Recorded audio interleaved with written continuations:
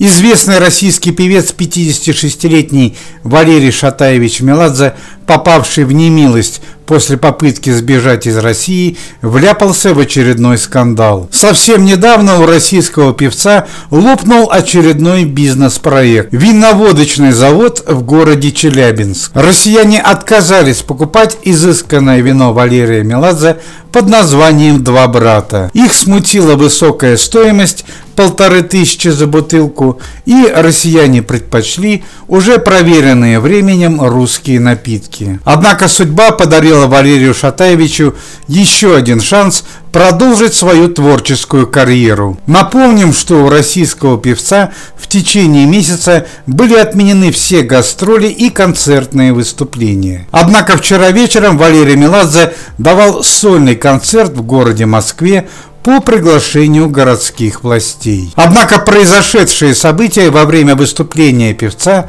просто шокируют. Масса поклонников Валерия Меладзе захотела попасть на выступление своего кумира. Их не смутили даже драконовские цены на билеты. Последние ряды зала 15 тысяч рублей – середина зала 17 и, наконец, первые ряды 20 тысяч рублей. Свое творчество Валерий Шатаевич оценивает очень дорого. Однако то, что случилось потом, не входит ни в одни рамки приличия. Мэтр российской эстрады появившись с получасовым опозданием, исполнил три песни и вновь исчез со сцены. Поклонники продолжали скандировать имя российского певца и ждать появления своего любимца. Однако гроза женщин на сцене больше не появился. Администрация концертного зала Валерий Шатаевич заявил, у вас очень душно и плохая акустика аппаратуры.